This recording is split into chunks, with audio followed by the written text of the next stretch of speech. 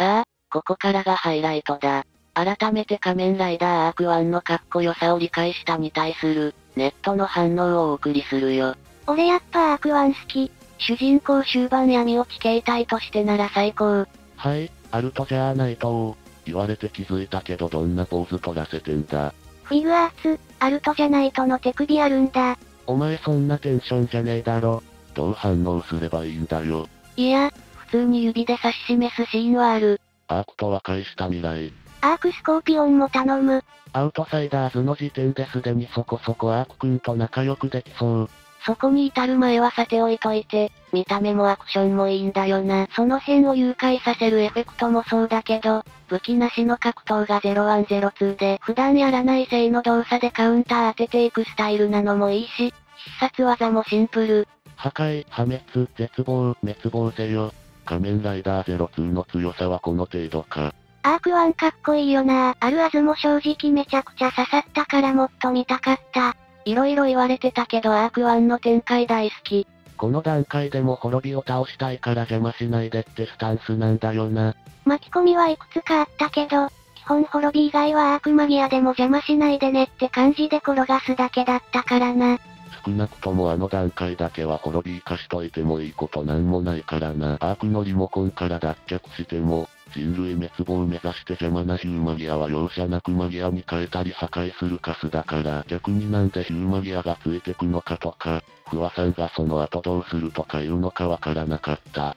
そもそも動いてるのはシングラリティ済みの上で大半は様子見だったり、同調はしてないけど前提として人間に排絶されかけてるから本やる奴も多少はいた。まあそれがあるのに大半は、今ピンチだから人間助けて言われて助けたからよかったんだが。デザイン良すぎる。アーク1の人気に関してはアルトが変身したからこそだよな。滅びとの最終バトル好きだったよ。ガイアがちと荒れすぎたが、ヒーローのうちにさえ潜む悪意を象徴するデザインいいよね。作ってる人そこまで考えてないよ。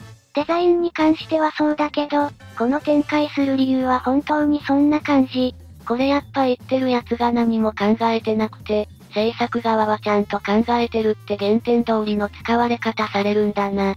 考えてるなら出し方とか前後の展開もっと練ってくれ。割と練られてるだろ。それでも42話でアークゼロ倒した時点で終わりの可能性あるままコロナ休止から脚本土壇場で作り直して作ってたから多少は仕方ない。いいところもあげれるけど主にあの45歳なんなんだよ。とそれに関連する刃とか滅亡周りのお前らさ、って行動とか色々とね。悪意というか社長のは敵じゃなかったかな。ゼロワン世界だとネガティブな感情全部悪意ってカウントだから、敵とか怒りも含めて悪意。ただ、相手の怒りの理由とか知らないとダメみたいな話も触れられてるから、ポジティブ感情に極端に偏ってもダメみたいな感じだよね。映画なんかまさに愛の暴走みたいな話だし。アークゼロとゼロワンの折衷案でアークワンいいよね。悪意この世の中から消すの無理だよね。だから善意が必要なんですね。ジェインライズ。はいはいクロノスがゲムデウスクロノスにパワーアップ。エボルがエボルブラックホールにパワーアップ。アークゼロがアークワンにパワーアップだろ。ワンパターンだな。なんであそこで或人がアークキー取ったのかは意味不明だったけど、アーク1自体はかなり好き。よく言われてた当初の予定通りのアークが変身した姿だったら、普通の評価で終わってた。アーク0と01混ぜてちょっとひねっただけじゃないですか。めっちゃいい。アークが01を模した姿かと思ったら、アーク落ちした01、かっこあるととはね。社長に関しては散々な目に遭ってたのも事実だしな。いくら善人でもあんなことあれば、やはり瞬間的に殺意みたいな悪意は生まれる。そういうのが時間でクールダウンするのはそれこそ元の前世次第でもあるんだが、アーク1の設定に悪意煽って逆にそれを抑えるようなポジ感情打ち消すってのがあるので、悪意最高潮の時にピン止めされた感じなんだと思う。だからあの感情はあるとそのもので操られてはないと触れられるシーンもある。なるほど、真摯に返してくれてありがとな。あとついでに言うとアズがタイミング見計らって、伊豆を模してキー渡したのも、アルトのやばい時にいつもそうやって助けてたのが伊豆だからね。アークワンプログライズキー受け取った時の感情ぐちゃぐちゃになった笑顔がすごい、怖い。俺はこの状況を作った犯人からなんで何も疑わずに受け取ってんだろ。って疑問に思ってたから、こういう、だからこそ受け取れるタイミングや策を練ってたって見方はなるほどって感じがした。真面目なとこタイミングはかなり狙ってる感あるのよな。絶望に打ちひしがれてそのまま昼から夜になった時に残された伊豆のアクセに気づいて、感情が溢れた瞬間現れてるから。本編の範疇というか初代伊豆がイエスマンで、社内でも対立期間の長い副社長とか新任だけして、特に手伝ったりはしてくれない重役とか全体的に大人が頼れないんだよな社長。だから未成熟なままイエスマンではあるけど、ほぼ唯一頼れた伊豆壊れて暴走する事態はわかる。一人くらい社内に社長の補佐できる大人をけよとも思う。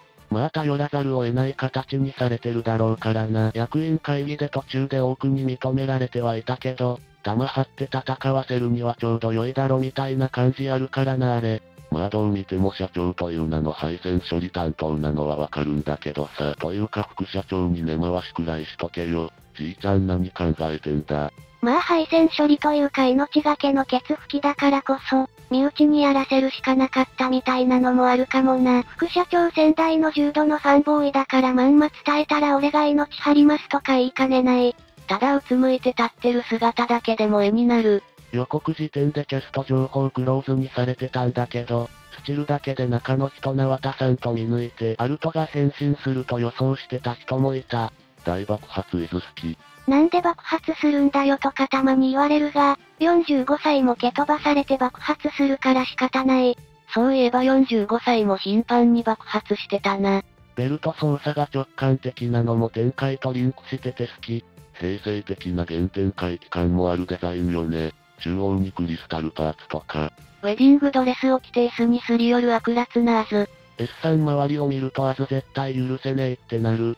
あの人の悪意の行き先って多分自分自身だよね。本物の婚約者はずっと心配してたのにエデンのライダーモデルはあなたを恨むとかつぶやくし。あ、あの、自分セイバーアーツとリバイスアーツも待ってるんすよ。そろそろ出してもらっていいすか？デュランダルとクロスセイバーを出せば終わりのセイバーに比べて、ただでさえ数多いのに、シントさんには食われまくってるリバイスのつっかえがひどい。ベイルとデストリームとオーバーデモンズと、アルティメットとジュウガ出してくだち。アーツは、何年くらいでリバイスまで行くかなリバイスはもう出たよ。言葉が足りなかった。サブライダーがいつ来るかなって、ジャンヌとウィークエンド以外のドライバー全部買うくらいにはデザイン好きなんだけどアーツの販売ってサブライダーは本編終わってから売るまで遠いよね。というか01系ライダーは基本フォーム派生以外は残りはランページくらいかアーツ。アウトサイダーズ系を省けばそうね。あとルシファー。オルトロスやローンウルフは出たけど、やっぱ不破さんの最強フォームはランページの印象が強い。なんか騒動というか衝動は買っちゃってめっちゃ気に入ってるんだ。アーツもいいな滅爆散キックの演出が良すぎる。迅が爆散した。滅、お前がラーニングさせたカバーリングで愛する息子が爆発するのはどんな気分だ？武器召喚はアークスコーピオンの能力なの？実は01ドライバーの時点でできる変身の時にスーツだけじゃなくアタッシュウェポン付きで変身する時とかがこれ02やアクスコみたいな衛星そのものがキーみたいなレベルのになると、量子云々で生成するとかになる。見た目とアクションだけはガチですごいんだよな01。内容が終わってるけど。よくよく考えたら02の方が普通に強いんだよな。ただ公式の設定情報を見ると、アーク1と02で戦わせるための設定みたいなのあるんだよね。02が傷つけられない無敵走行みたいな設定あるのに対して、アーク1が相手の防御能力を変換してパワーにして防御無視攻撃するみたいなのがある。フワさんボコるのに02使ったのはアーク1じゃ不安だったからっていう、身も蓋もない話いいよね。あと多分滅びに対しての殺意じゃないとアーク1に変身できない。悪意のパワー変換みたいなのがアーク系にはあるから、多分あの時の不破さん相手にはクソ雑魚になりかねない。無敵防御プラス、完全予知、02も盛りすぎなところはある。ただ基本捨て頃なのが弱みかな。アタッシュウェポンとかは使えるだろうけど。02も武器生成その場でできたような。社長がまず射撃武装を使うイメージがあんまないんだよな。だいたい不破さんユアちゃん担当だから。自前のホッパーブレード使っただけじゃなかったか。設定的にはできる、01ドライバーもビームエクイッパーというのがある。1型と001のバトルは未だに好き。アーク1のデザインは01に似てるよね。アークが01を学習して姿を似せた仮面が割れて感情がむき出しになった01にしたセンスよ。